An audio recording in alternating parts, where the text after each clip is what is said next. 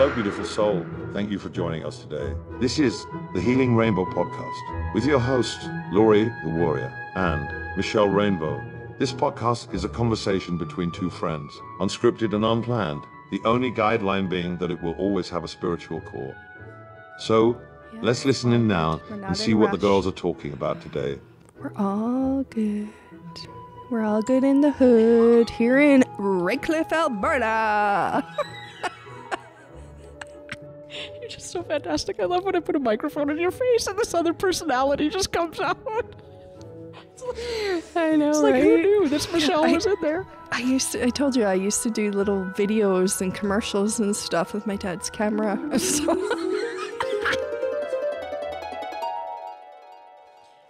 You want to? Yeah, Lead let's us set with an intention? Okay, it's always best to to sit sit up straight and to have your root chakra on the seat, on the couch, a chair, the floor, wherever you're sitting.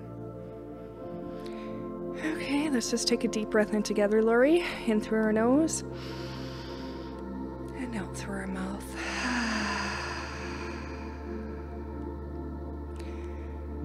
So I ask divine will and infinity to our soul and permission from our higher self. I invite our angels, archangels, guardians, earth spirits that are love and light, our ascension team, Mother and Father God, and whoever we work with that's in the spiritual realm, I ask for you to all join us here today. We want to create a space. This is the, our intention to create an open, loving, fun, joyful space. Let's just take a moment and just feel that energy shift.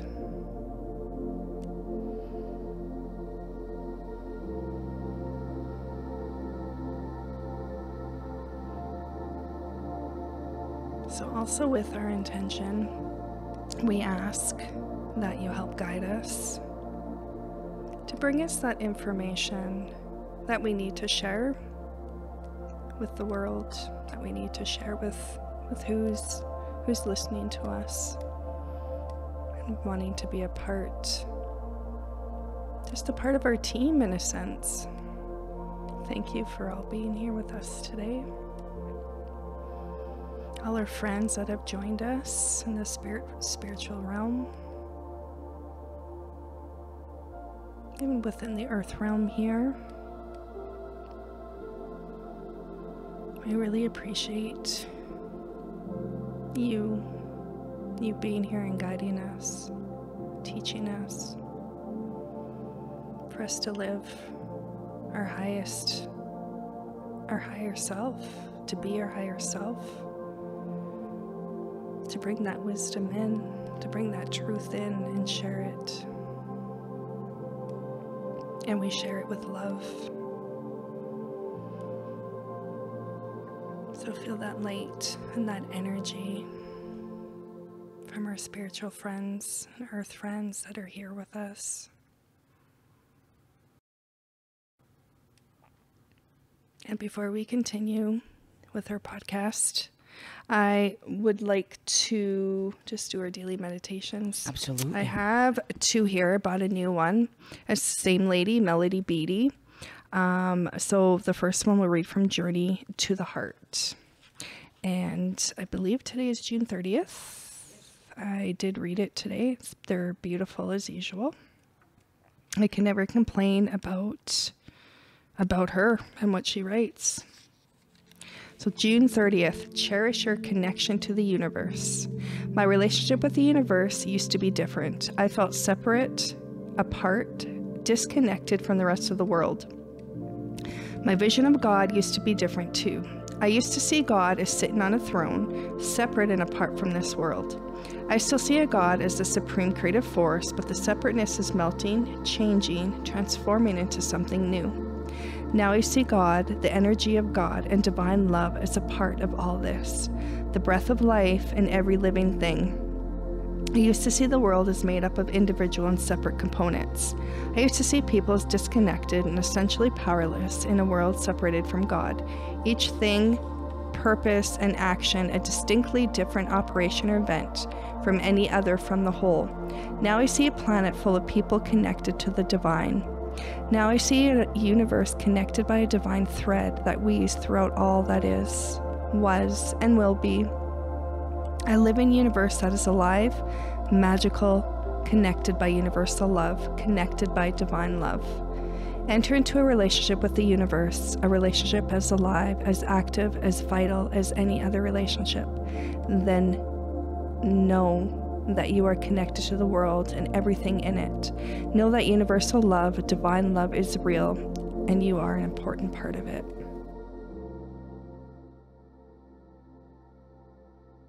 Um, I just want to say, because some people um, really have a problem when the word God is mentioned. So this is not a religious podcast in any way, shape, or form. Um, sometimes I will use the word God. Um, sometimes I'll use the word universe, uh, maybe divine love, uh, spirit, higher self. And to me, it's or soul. To me, it's all the same, and it's it's, it's all Yep. connected. Yeah. Okay, so I'm gonna hand this to Lori, and she's gonna read the language of letting go. Actually, no, you're not. Oh no. You're going to read it. Just because if I haven't read it before, sometimes my eyes betray me. Okay, right. Accepting change. One day, my mother and I were working together in the garden. We were transplanting some plants for the third time. Growth from seed in a small container, the plants had been transferred to a larger container, then transplanted into the garden. Now, because I was moving, we were transplanted them again. Inexperienced as a gardener, I turned to my green thumbed mother. Isn't this bad for them? I asked as we dug them up and shook the dirt from their roots. Oh, isn't it interesting when you're reading something sometimes that you just like get like the gargles and you just want to burp? That's my throat chakra saying, okay, come on, baby, get this out. You can do this. You can do this. Okay. Won't it hurt these plants being uprooted and transplanted so many times? Oh no, my mother replied. Transplanting doesn't hurt them. In fact, it's good for the ones that survive. That's how the roots grow strong. The roots will grow deep and they'll make strong plants. Often I felt like those small plants uprooted and turned upside down. Sometimes I've endured the change willingly, sometimes reluctantly, but usually my reaction has been a combination. Won't this be hard on me? I ask. Wouldn't it be better if things remain the same? That's when I re- remember my mother's words. That's how the grow the roots grow deep and strong. Today, God help me remember that during times of transition, my faith and myself are being strengthened. Isn't it beautiful what she writes? It is. And it's absolutely, you know, uh, so many times when we sit together, we talk about the synchronicities that happen within our lives, right? And as I was sitting today, and I'll paint the picture for people. Uh, Michelle you, and I you have paint it, baby, paint it. Michelle and I have this tree that we have recently, not recently, I think you were drawn to this tree long before I was, right? Yes. So this tree is, I would say, centuries old. It is so huge and it has been through so much. And I was, I was commenting today how, I mean, she's literally had giant chunks and limbs cut from her and she's still flourishing. She's still growing. And her energy is that of resilience and strength and the absolute, you know, like I say, she's giving strength to, at least to me, I feel strength from her. I feel calmness. I feel all these beautiful things. And it, it reminded me of, you know, we all go through these things where we feel like we've had pieces of ourselves, removed, where we're scarred, we're marred, we're whatever, but we still keep going. So tie that in with what you just read, and it's mm-hmm. it's it seems to be the message for today, which I think is pretty pertinent and pretty bang on for what's been taking place in our world, right? And I don't want to dwell on that, but my goodness, yeah, change is good. Change is mm-hmm. good, right? It is, and Yeah. we are often afraid of it. We don't like it. But if we didn't have changes in our life, if things didn't change, wouldn't life be pretty boring at the same time? Having a groundhog hate groundhog A groundhog, hey? groundhog day every day over and over and over again. Mm. Yeah, it would. Yeah. Have you seen that um, episode? It's uh, from the one of the Disney uh, Christmas shows with uh, Oh yes, with Elv. No, with Huey, Dewey, and Louie. and Donald Duck. Yes, Yes, where they kept repeating Christmas Day over and over and over again, and they were just like, "Okay, yeah, I'm done."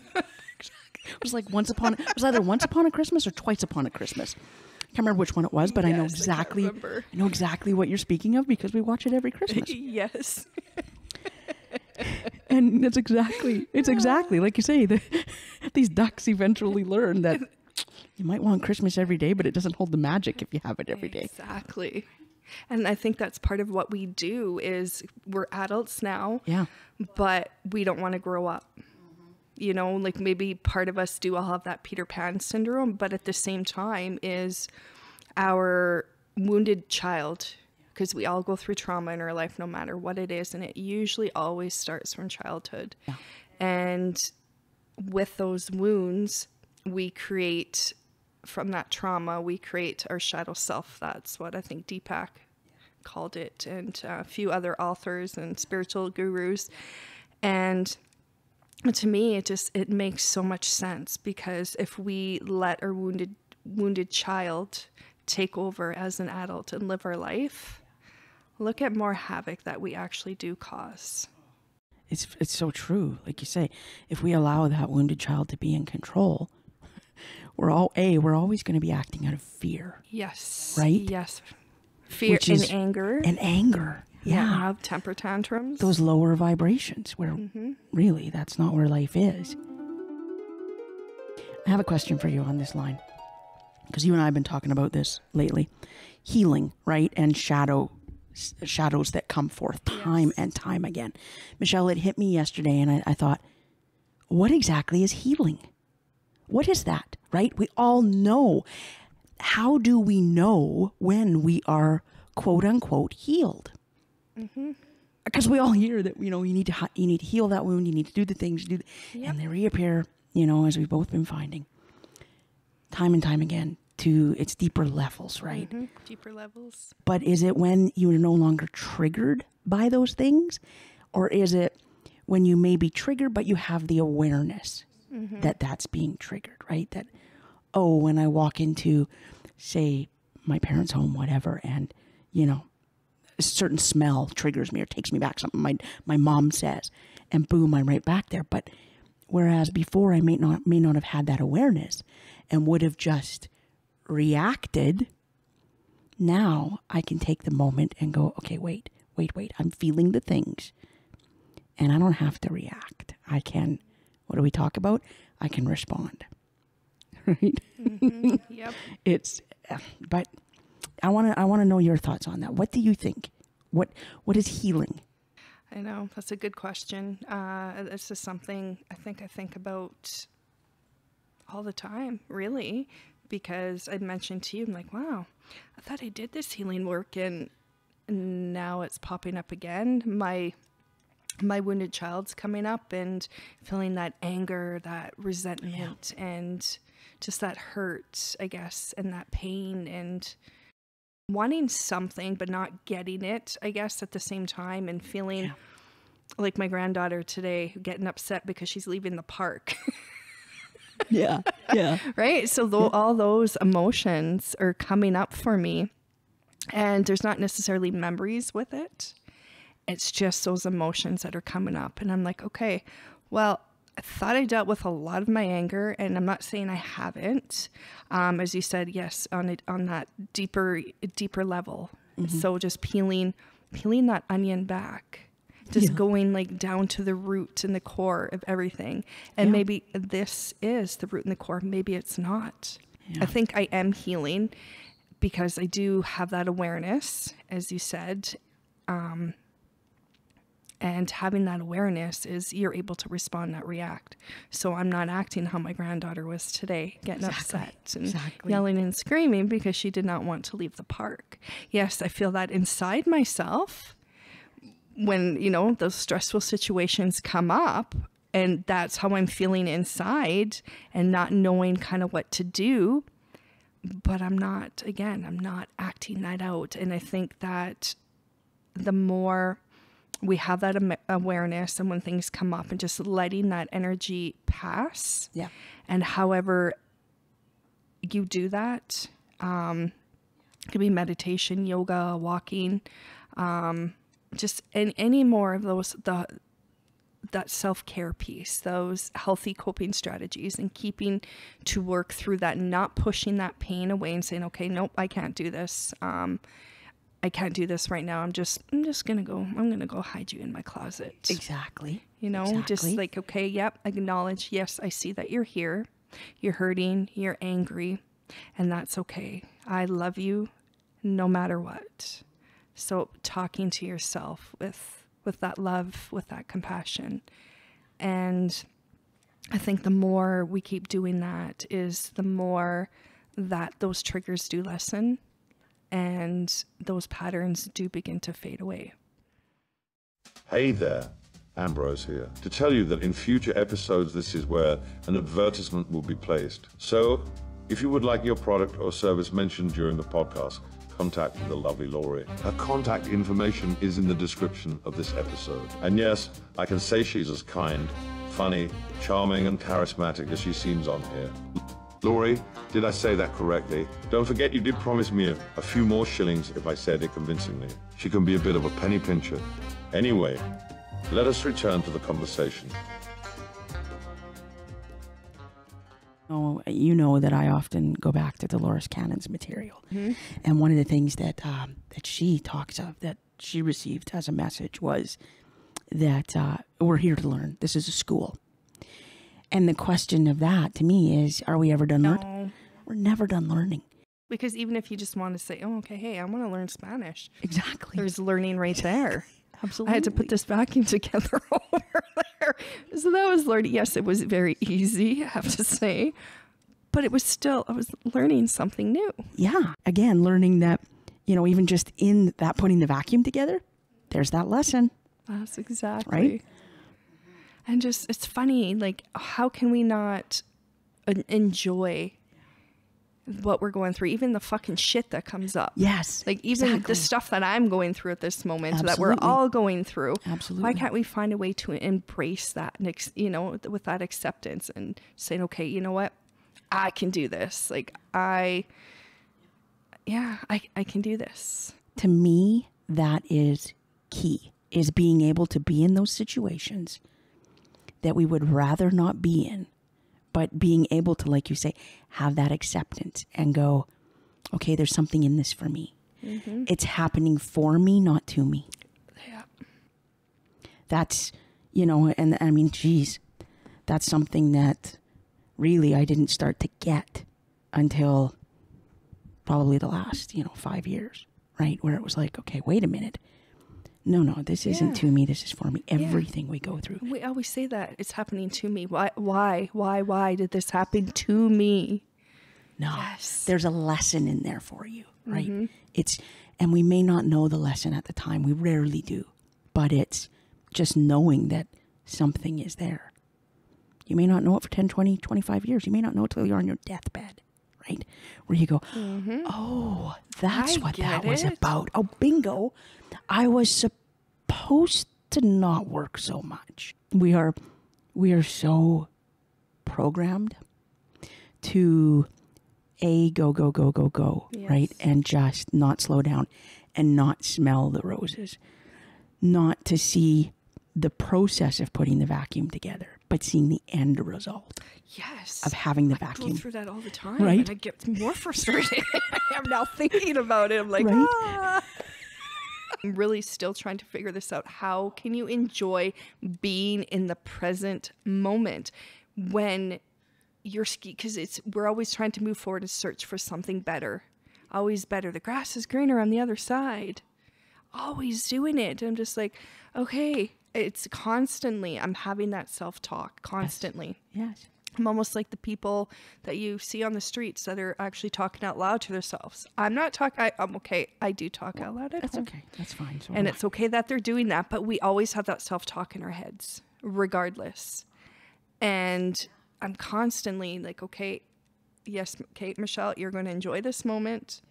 Just enjoy it. Put love into this moment. But then i find that i'm consumed with telling myself this and then i'm missing the moment so it's like how do i do this how do i do this I don't know if anybody out there listening to this podcast right now, not in real time, we don't have the answer right. But if anyone knows, that would be fantastic if you could let us know. Wouldn't that be great? But even at the same time, somebody can tell us. Like our gurus can Oh, tell us goodness, that. yeah.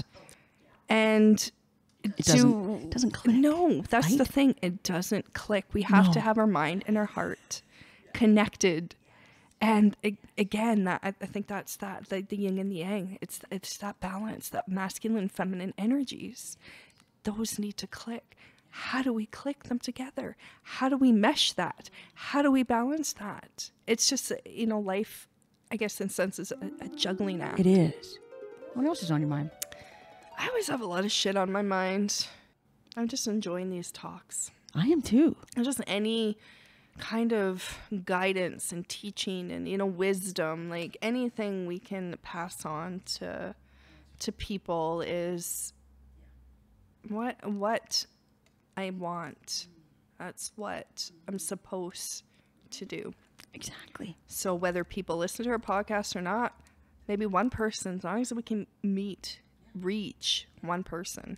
That's then it's what that's that's what it's for. yeah It's like I've said you from to you from the beginning, right? That anything that I go through, I always say if it helps someone else, then it's not it's not a waste of energy. Yeah, well, It's that's not- exactly. And and when you look at it too, like people like um, that write poems, that write stories, um, even yeah. musicians, like they are they're they're sharing themselves.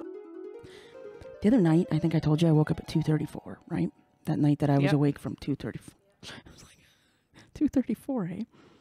And I don't remember now looking back what the what the message was that was just it was like resting right there and I thought I just have to record and just hit it, send it out. Yeah. The one I sent you yesterday was the the light, right? Because I'm thinking things are so fucking heavy in the world. Like the energy has been Oh been yes, it Whew. So how do we as light workers, whatever you want to call it, how do we stay light, right? How do we keep spreading the light? How do we keep doing whatever? First off, it's not about always just being happy and whatever. That's not being a light worker. It's being able to do as you do very, very well, and that's to go into the dark with the people and show them Shine the light. absolutely because that's where the light works best. Mm-hmm. That's what it's made for. Yeah, but it's important to be grounded. It absolutely is, and Yeah. you have to be grounded Yeah. before you venture into the dark. Yeah. You can't be all willy nilly just. No, because that's what happens. People's souls really do float around in the abyss. And when I was on my, was it the San Pedro ayahuasca? It was on San Pedro. And I, I got that like download, I call it. And yeah, that's what happens. That people, when they're not grounded and they're not connected, they're actually floating out in the abyss. And sometimes they can't, can't always seem to, can't come back because well i don't know where that where that cord went because we have that cord that that light cord within us right? That that comes from our heart and goes down into the earth to connects with mother earth. So we ground into mother earth with that cord. And then that same cord of light connects up through our crown and connects to the godhead. Mm. So we need both. We mm. need the grounding and the connection. Mm. That's a really. I have a, just a, such a cool image of that in my mind. Is cool. I've had dreams Yeah, about you it before. I'm like, oh, what the hell is this? And I would see an angel soaring above the top of my cord. I'm like, oh, hello up there. but she never answered. I just want to hang out she was just dreams. up there and just like, just just hanging around, just keeping an eye on things. Do you think? Just keeping an eye on things. Well, that's so, yeah, because we have our angel self too. which is that's amazing, right? So many. Like you say, it's all we're all just pieces. I mean, this is just a piece, right? This is just It is. a sliver of consciousness Mm-hmm. There's a sliver. in on this whatever. Be Yeah. it a game, be it whatever, right? I'm, Yeah. And and to to be more spiritual and to you Yeah. know to move up Yeah. um, within our, our our levels of ourself, Yeah. we have to be grounded because then that's when we lose ourselves. Yeah. And then again, there's the mental illness within all that too. Absolutely. Absolutely. I yeah, it just makes complete sense. Mm-hmm. And that's the thing, right? You know, we talk about if it resonates, and that was always one of my questions for years was, well, what the fuck does resonating feel like? Mm-hmm. And to me, it's just that that ping, right? That knowing within yourself. Um, Yep. Again, I suppose it's tied into intuition, right? Oh, It's it that. is. Ah, that sounds right. Yeah. Yeah. You know it you know it in your your mind and you feel it in your heart. That's that's how you know that's your intuition. They're working together. So when we have when you go to your your sacral chakra, so your second chakra, which is with orange color, that's your creativity, but it's also your sexuality, it's also your emotions. And that is the center of your intuition. But that's just the because it's the emotional part. You have to connect it with your third eye. So then that's when that knowing comes in. So you want to have them both connected. And when you balance and align your chakras, you have your your root and your crown are together as one. Your sacral and your third eye are together as one. And your solar plexus and your throat are together as one. And then your heart, because your heart is the bridge to it all. It connects your lower and your higher chakras together. Thank you. You're very welcome. Thank you. And you should let Oh, me do Reiki on you. Yes, I should. I know. Mm-hmm, because have you ever had a Reiki? I got a- No. oh, I got a pimple here. Ooh. Have you? You've No, I never, had, a Reiki, had a Reiki session. Wild shit, lady. No, I never have. okay, No, well, I've we need to start doing that. Alrighty. Well, there you go. Yeah. Add it to the list. Okay. Sounds damn good to me. I haven't done it. I actually haven't done Reiki in a while. I want to say almost a year again, and I love doing it. I do. So explain to me when you do a Reiki session, what does that feel like to you? Can you describe it? What it feels like to Like me. yeah, like okay, say you're doing a Reiki session on me and you feel Yep. is it like would you be able to feel a block? Yes, correct. In a chakra, would you be able to feel that? you can feel you can feel that you can feel so many things Yeah. it's what your higher self is going to be open to me your soul is going to be open to me. Yeah. that we have the angels whoever Yeah, the guides and stuff that i call in we're all mm-hmm. working together to mm-hmm. give me those messages. So it's whatever needs to come to me at this time. So if there's mm. a block that needs me to be aware of to for you to be aware of then that will come through. Ah. so it's most it's the hmm. more important things that you need to work on right now. Ooh, I like that. Yeah. So people think, "Oh, I'll just go for one Reiki session and then I'm cured." No. It's like going for a massage. It's like going for a daily walk. It's like eating every day. It's about taking care of yourself, that self care piece. So it's doing that healing work, doing that spiritual work, and once a month, roughly, or even once every three months. I know at the beginning it's always good to have a little bit more um, sessions and then you spread it out. So, and then again, like it will come through and say, oh, yeah, you may it might be a good idea to come back maybe in three, four weeks or or six weeks or maybe not for three months. So, But you're guided. You're Yes. told when you feel it. Yep. Very interesting. That's very cool. Mm-hmm. That's one It thing that I haven't spent a lot of time looking into is Reiki, actually. Yeah, I, I, I love it. Like when I first uh, took my first course in Reiki, the um, level one, and I didn't really know anything about it. I was just guided to take it, and I'm like, oh, this sounds cool. And I went, and the experience that I had was just so phenomenal. I felt a piece of my soul coming back into my body. I thought I was having convulsions and my body was not moving. It was my inner body that was moving. and I thought I was crying. I felt tears. There was no tears that were coming down. And it was just it was amazing. It was amazing the release that I had and like I said the piece that that I was missing came back together because when we go through our lives, we lose pieces of ourselves. We give part of our power away. And we need to bring bring that power back into ourselves. So I was bringing what I've been missing for so long wow. back in and that was part of my soul. I was missing parts of my soul mm. that I brought back in. And I wouldn't have probably believed it if somebody told me, oh, hey, I went through this. Mm, okay, yeah. And I do believe people. I'm very open to what people are telling me. And, but for me, I have to, and I think most people are like that. We need to experience something to actually believe it. So again, if I didn't experience it, I'd be like, yeah, I, I wouldn't, I wouldn't have. And then, just some of the experiences that I've had um, practicing Reiki on people when I've actually learned about attachments, having attachments, and being able to help to release those attachments. Um, ended up putting somebody, a client, into a hypnosis state. And because we're working on their fear, their anxiety, where was the root cause of it? And well, that you know i just just following what i was guided and leaded to do and what happened wow. in that in that moment so there was just so many things you know that would come up and some things you question be like did i really just see that like did i really just feel that yeah. did i really just get that that wow. um those messages and you ha- you get to a point where you know what you just have to trust it yeah it's about trusting yourself. Yeah. And we don't trust ourselves. We try to control everything. Oh, yeah. That's why we don't listen to our intuition. We're like, yes. no, you're wrong. Yeah. Yeah. It's because we're not connected with ourselves. Mm-hmm. We're not in alignment with ourselves. Yeah. So we will question that. Mm. Wow.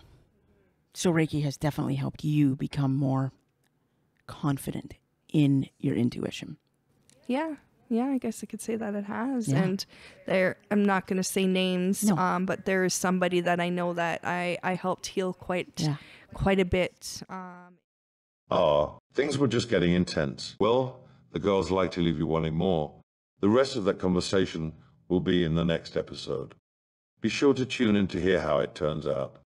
Now let's head back to Rainbow and the Warrior as they close the circle and sign off for now. I'll be back after them to give you some important information. So, this is going to be this is the end of our first podcast. There will be more.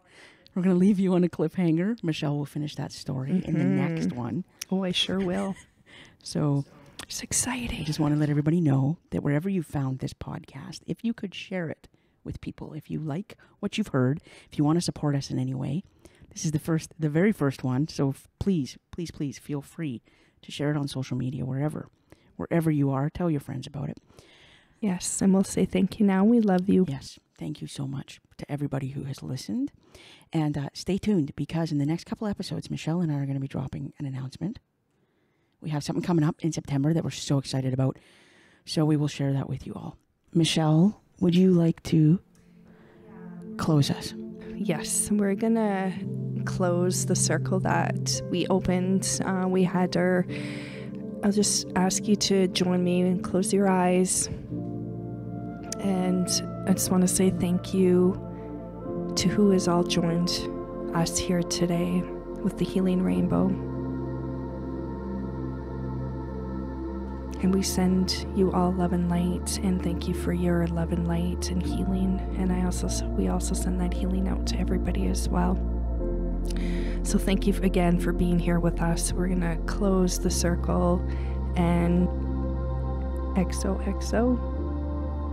Love and light to you all.